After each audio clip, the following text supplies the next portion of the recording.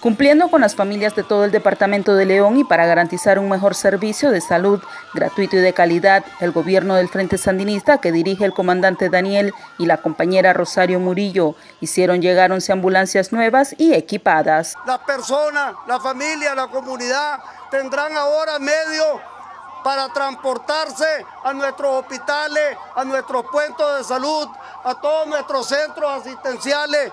Igualmente, algunos de ellos podrán ser trasladados a Managua Capital o a otros departamentos a recibir una atención especializada. Las familias leonesas que recibieron estas ambulancias se encuentran contentas con este apoyo que les brinda el gobierno a través del Ministerio de Salud, ya que se sienten más seguras porque obtendrán una mejor atención. Para nosotros, para que las necesitemos para todo, el, para todo el pueblo. Así nos sentimos que, nos, eh, que, vale, que valen nuestros derechos, ya que eh, nuestro buen gobierno se preocupa en nuestra salud. Esas son las obras de progreso que nuestro gobierno central pues, le promete al pueblo, a la ciudadanía y generalmente pues, al pueblo de León esta, esta tarde le ha tocado ser el beneficiado con estas ambulancias.